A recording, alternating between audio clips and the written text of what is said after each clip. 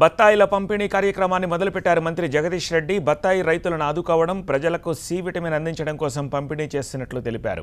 బత్తాయి రైతులకు ఎలాంటి నష్టం రాకుండా చర్యలు తీసుకుంటున్నామన్నారు తెలంగాణలో బత్తాయి వినియోగం పెంచే కార్యక్రమాలు చేస్తున్నట్టు తెలిపారు.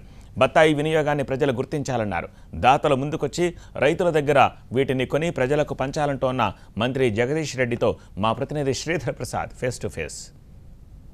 Corona మహమ్మారిపై పోరులో భాగంగా మనిషి తన ఇమ్యూనిటీ పవర్ని పెంచుకోవడానికి బత్తాయి పండ్లను కూడా తీసుకోవాలని చెప్పేసి ముఖ్యమంత్రి కేసీఆర్ సూచించారు. దాంట్లో భాగంగానే మంత్రి జగదీష్ రెడ్డి గారు బత్తాయి పండ్ల పంపిణీ కార్యక్రమాన్ని చేపట్టారు. ముఖ్యంగా నల్గొండ జిల్లాకు సంబంధించి పెద్ద ఎత్తున బత్తాయి పంట వస్తుంది. దాన్ని ఏ విధంగా ఉపయోగిస్తున్నారు? సప్లై ఏ విధంగా విషయాలను తెలుసుకుందాము. ముఖ్యమంత్రి గారు కూడా సూచించారు బత్తాయి పండ్ల వినియోగం వల్ల. కరోనా మహమ్మారిపై పోరాడవచ్చు బాడీలో సి విటమిన్ పెరుగుతుంది. ముఖ్యంగా మీరు నల్గొండ జిల్లాలో మీ జిల్లాలో ఎక్కువగా బత్తాయి పండుతుంది. ఏ విధంగా ఉంది సప్లై? దాని పంపిణీ కార్యక్రమాన్ని ఏ విధంగా చేపడుతున్నారు? బత్తాయి అనేది ఇప్పుడు ఈ కత్తెర పంట ఇప్పుడు వస్తూ ఉంది. రైతాంగానికి ఇప్పుడు దాదాపు నలభై వేల టన్నులు నల్గొండ జిల్లాలో అందుబాటులో ఉంది. ప్రజలు ఇది ఎంత ఎక్కువ వినియోగిస్తే అంత మంచిది అని చెప్పి ప్రపంచవ్యాప్తంగా కూడా వైద్యులు శాస్త్రవేత్తలందరూ కూడా చెప్తా ఉన్నారు. ఎందుకంటే కరోనాను నిరోధించడానికి ప్రధానమైన శక్తి రోగనిరోధక శక్తిని పెంచుకోవడమే ప్రధానమైన మందు అని చెప్పి అందరూ చెప్తున్నారు. ఇది దీంట్లో పుష్కలంగా ఉంది బత్తాయిలో బత్తాయి నిమ్మ ఉత్పత్తుల్లో.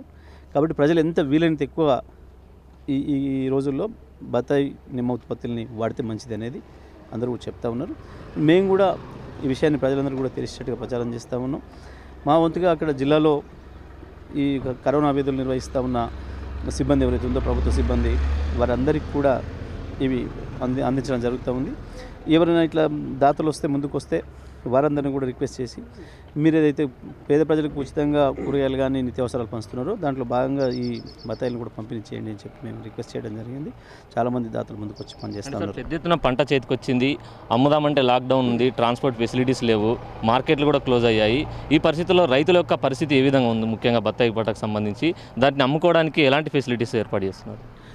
వాస్తవానికి ప్రధానంగా ఇప్పటివరకు కూడా ఇది ఢిల్లీలో ఎక్కువ వాడుతున్నారు. ఢిల్లీ మార్కెట్కి ఎక్కువ పోతూ ఉంది. అయితే ఇప్పుడు ఉన్న పరిస్థితులలో మేము మార్కెట్ ఢిల్లీకి పంపించడానికి కూడా ఏర్పాట్లు చేసినాం. మన గౌరవ ముఖ్యమంత్రి గారు ప్రధానమంత్రితో కూడా మాట్లాడి అక్కడ కేంద్ర వ్యవసాయ శాఖ మంత్రితో ఇతర మంత్రులతో కూడా మాట్లాడి అధికారులతో మాట్లాడి ఏర్పాట్లు చేసినాం. రైల్వే అధికారులతో మాట్లాడి రైల్వే వ్యాగన్లు తీసుకుపోవడానికి ఏర్పాటు చేసినాం.